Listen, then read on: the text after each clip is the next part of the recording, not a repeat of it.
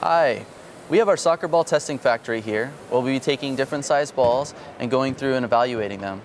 This will all be run off of our Pocket IO, which is controlling this entire factory. So we'll be going and uh, allowing the user to sign their name on the app. They can write whatever they'd like. Then they select a quadrant, telling the robot which quadrant to kick the ball into. Once done, they send a request through, the ball is entered into the elevator, in which case we'll use our motor drivers and encoders to determine the size of the ball, whether it's a 5, a 4, or a 3. This is highlighting adaptive manufacturing, which is a big initiative of the Industry 4.0. Once we've determined the size of the ball, we'll reconfigure the factory to adapt to the size and take it to each of these substations. So we take it to the weigh station, take it to the pressure, take the circumference, we drop the ball, all of these mimicking FIFA standards that we would go through.